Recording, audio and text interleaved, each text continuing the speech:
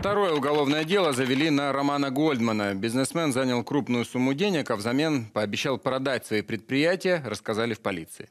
Гольдмана подозревают в мошенничестве в особо крупном размере. По версии следствия, с мая по август 2023 года он занял 327 миллионов рублей у компании управления агроактивами.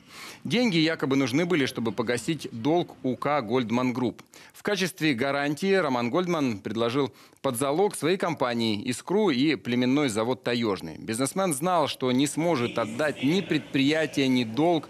Такую версию озвучили в полиции. Там добавили, дела Гольдмана объединили в одно производство и готовят документы для международного розыска. Местонахождение его нам известно, мы знаем о его передвижениях э, за пределами России. В настоящее время, вот с учетом второго эпизода преступной деятельности, общая сумма денежных средств, сумма арестованного имущества где-то около 4 миллиардов рублей.